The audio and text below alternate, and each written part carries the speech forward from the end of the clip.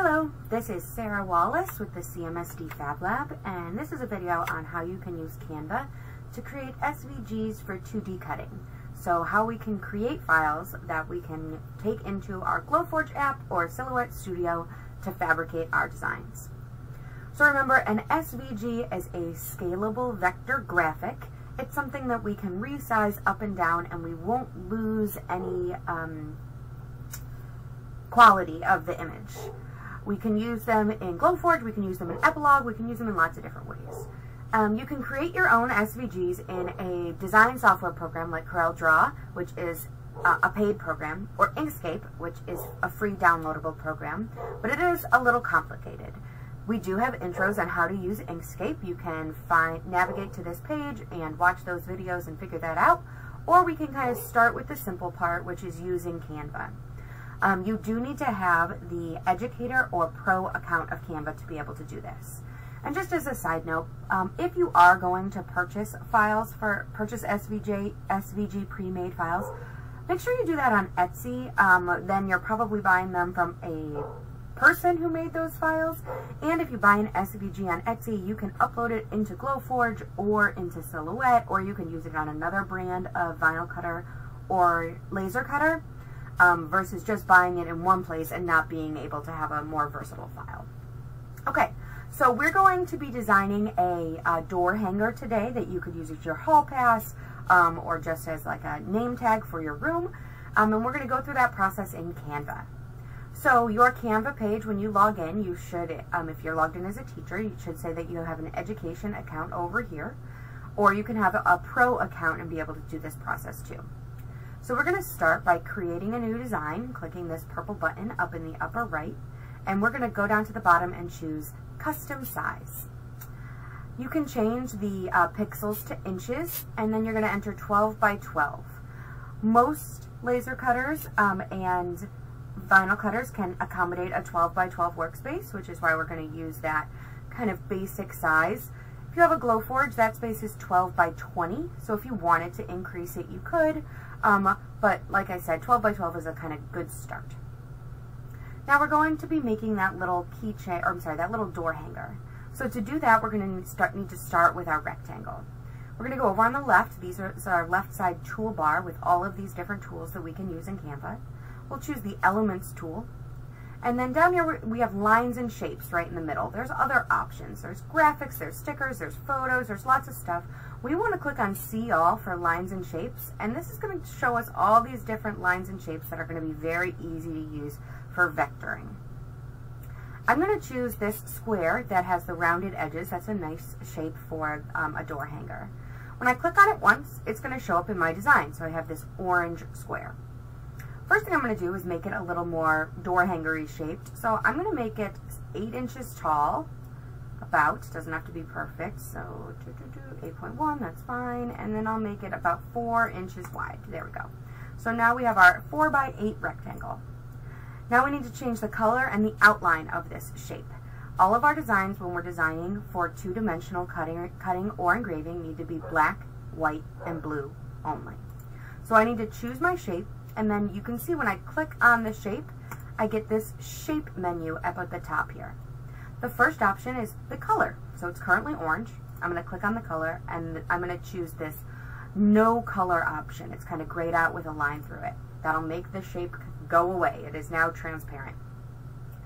The next thing I'm going to change is the outline. So right next to the color in the shape option is the border style or outline. You have some different options here if you want to make it a dotted line or how thick. All we need to do is choose the solid option to give our shape a nice solid outline.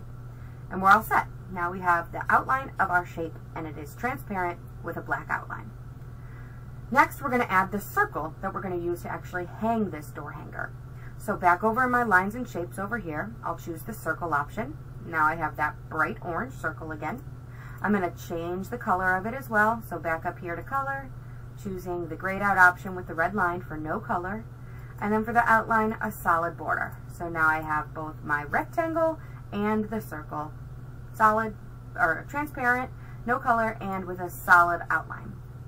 Next, I'm going to change the shape of this circle. If you want it to be a door hanger to hang on your doorknob, you want it to be about a 3-inch diameter circle. If you just want it to hang on a nail or a hook in your classroom, you can put that down to about a 1-inch circle. So now I have a small white circle, um, and I'm going to move that up here towards the top. Doesn't have to be perfect, but that looks good to me. Next, we're going to add the text to our door hanger. Back over on the left-hand side with our tools, we have the text option. I'm going to choose text and then I'm going to choose add a subheading. That'll give me this blue add a subheading text in the middle of my page.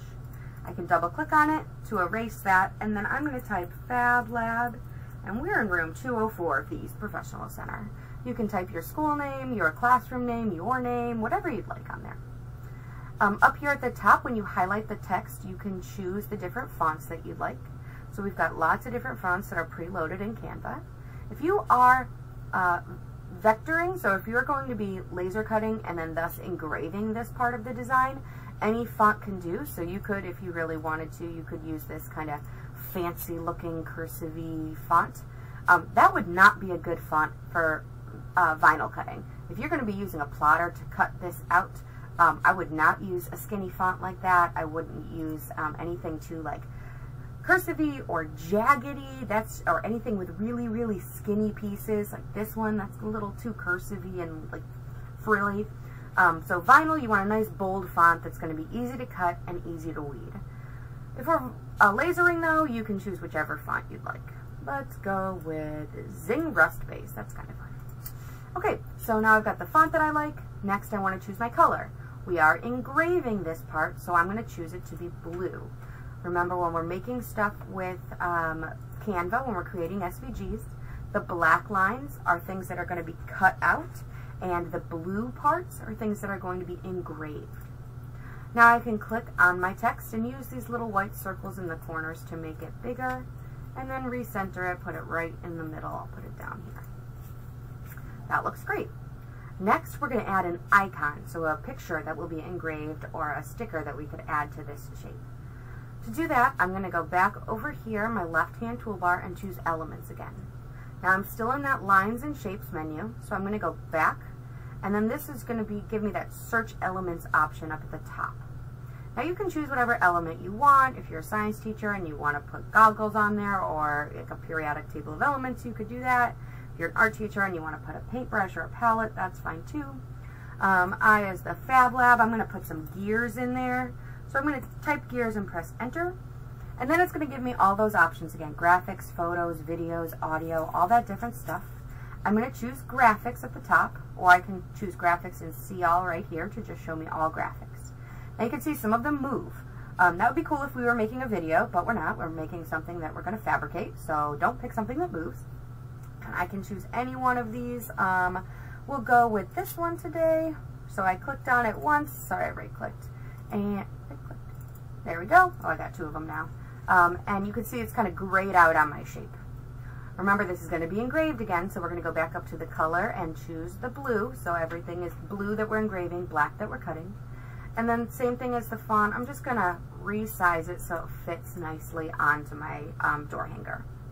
And I'm all set. I have a nice door hanger. The black lines will be cut out, so the outside of the shape and the hole, so I can hang it on a hook. The gear will be engraved, as will the Fab Lab and my room number. The next thing we need to do is export. So to export this design as an SVG file, we're going to go up to the upper right and choose Share.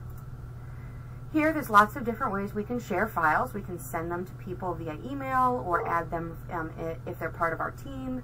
You can share it on social media. You can print it and uh, pay for it to be printed out. But what we're doing is downloading. So we clicked share, now we choose download. From here, there's what different ways we could download. So under the file type, there's lots of different files we could download. We need the SVG file. So I'm going to select SVG, and this part is important. Make sure you choose transparent background. Once you've selected that box, we'll choose download.